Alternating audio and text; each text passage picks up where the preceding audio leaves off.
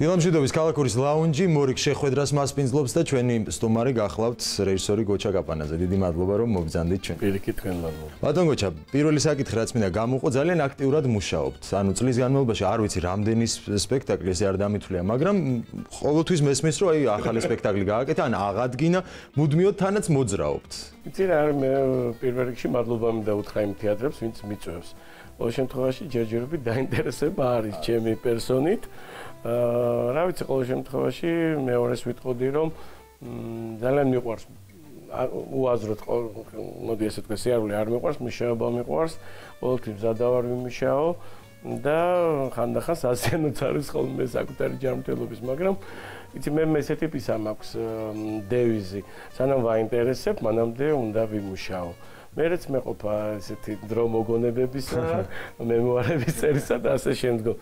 კიდე ამბობ მე არ არ ვუარყოფ კი არა, უბრალოდ არ ვუარობ სხვა სხვა პროვინციულ ქალაქებშიც კი გავაკეთო სპექტაკლები.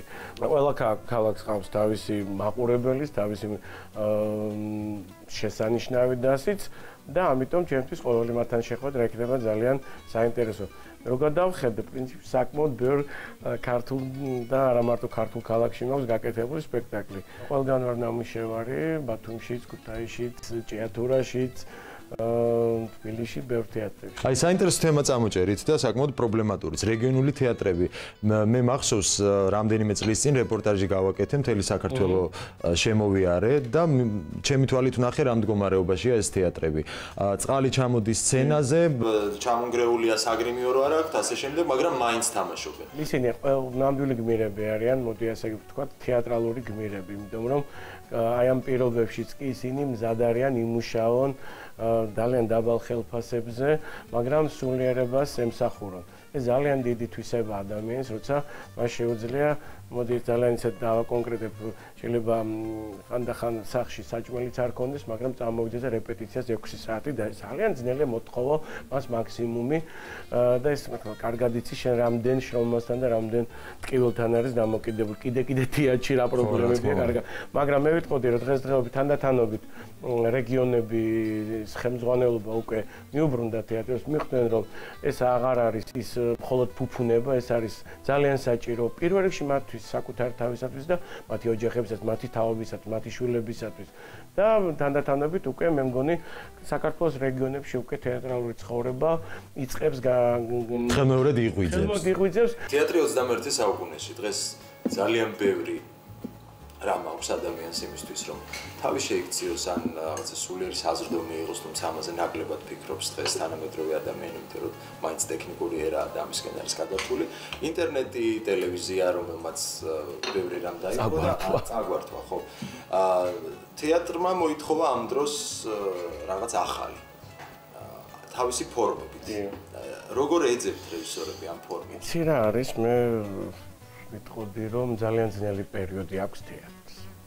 ფორმის მხრივ, იმიტომ რომ ძალიან ძნელია ყველაფრის ნახველი, მაყურებელი მოწყვიტო სახლიდან გამოვიდეს და მოვიდეს 2-3 საათი იყოს თეატრში და იქ რაღაც ახალი დახდეს, მით უმეტეს, როდესაც დრამატურგიაში მე ვერ ვიტყოდი რომ ძალიან დიდი გარღვევაა. სოფრო დრამატურგიაში არის საკმაოდ დიდი კოლაფსი, მოდი ასე ვიტყოდი.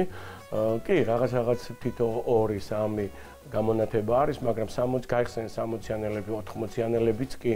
როცა დუღდა? როცა დუღდა, როცა უკვე წარმოვიდა აბსურდი, მანამდე კიდე ეგზისტენციალური ყველა თუმცა აი ახლა შემოდის ძალიან საინტერესო დრამატურგია, ეს არის დოკუმენტური დრამატურგია, რომელიც პიროვნებების, ისტორიების მოტანას აკეთებენ და ძალიან საინტერესო ტენდენცია წამოვიდა ესე დასავლეთ ევროპაში, თუმცა ქართულ ქართულ დრამატურგიაშიც უკვე იგზნობა მსგავსი რაღაც ტენდენციები. რა თქმა უნდა, ფორმების ხრი ძალიან ბევრი საკამათო მომენტი გაჩა, მაგრამ ერთი რაღაც არის თეატრს არასოდეს არ მოაკლდება მაყურებელი, ვერა და გეტყვი რატო.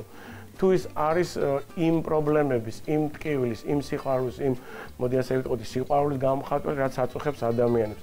ადამიანის ანამ იქნება ყოველთვის იქნება კითხვები, რატომ, როგორ, რატომ, რისთვის, ასე შემდგომ. იმიტომ რომ თეატრი ყოველთვის არის ადამიანიდან ამოდის. ეს არის სარკე, ხომ?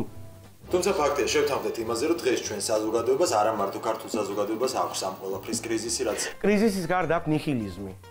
იცი რა და აგრესიულია ეს აგრესიულები არიან კი იცი რა არის. მაგრამ ეს მე მგონი მაინც გაიგლის იმიტომ რომ ეხლა რო გადახედავ მე ვებია ჩემისგან მახსოვს რომ როდესაც რევოლუცია მოხდა აი ყველა მიაყენეს კედელთან ხო თავადაზნაურობა ინტელიგენცია და დაიხრიტა დაანჩენები გადაასახლეს ასე შემდგომ. მაგრამ მაინც დარჩა ადამიანები ვინც იყო რაღაც მოდი ასე ვიტყოდი ადამიანებისაც საზოგადოებისაც და ქვეყნისათვის მისაბაძი და ბოლოს ჩვენი საუბრის მიწურულს თქვენ უბრუნდებით ისე რუსთაველის თეატრს აღადგინეთ მარიამ სტივარტი მაგრამ თქვით რომ ალას განახლებაც გამოვიდა. რატომ ეს სპექტაკლი რატომ დაუბრუნდით?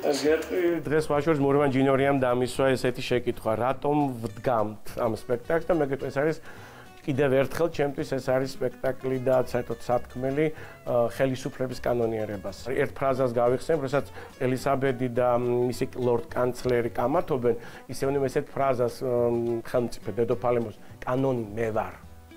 და უცებ ეუნება ლორდ კანცლერი უკანონობა სახელმწიფოს დაღუპვაა.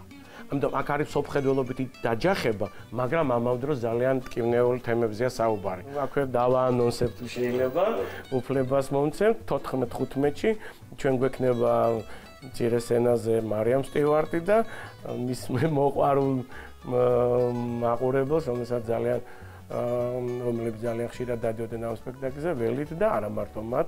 მე იმედი მაქვს, რომ ამ ორი დიდი პიროვნების ტიტანური პიროვნებების მოდი ასე ვთქვი პაეკრობა ძალიან ბევრ საინტერესო თანამედროვე ისტორიას გაგვახსენებს და ჩაგვაფიქრებს რომ ძალაუფლების საკენსრაფვა არ არის მხოლოდ იადავარდი, ეს არის დიდი შრომა, ეს არის კატასტროფულად შეწირვა ქვეყნისადმი, იმიტომ რომ მეორე ფრაზას გავიხსენებ და ამით დავამთავროთ, როდესაც ეკითხებიან ინგლისთან დაკავშირებით, დედოფალი ამბობს, მე შენ შეგწირე ყველაფერი, სიყვარულიც კი. დიდი მადლობა, მე გისურვებ თეატრალურ ძალაუფლებას.